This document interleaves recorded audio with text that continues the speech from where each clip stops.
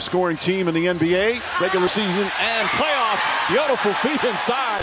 Siakam wanted a foul. He has five points, so the two-star point guards, a quiet start. Siakam posting up Josh Hart. An easy two for When the Nembhard hit the big game-winning three-pointer. Siakam likes the matchup, takes advantage, and banks it home. Right back to Siakam. Inside. Turner with the slam. Tomahawk. Able to tip it back. Halliburton a three. Back to back threes. An answer from the Pacers in the lead. Back up today was to keep him out of that rhythm by letting him find, not letting him find those angles, not let him use his body and his shoulder to try to throw him off and get those easy mid-range Rebounding numbers plus 13 for Indiana.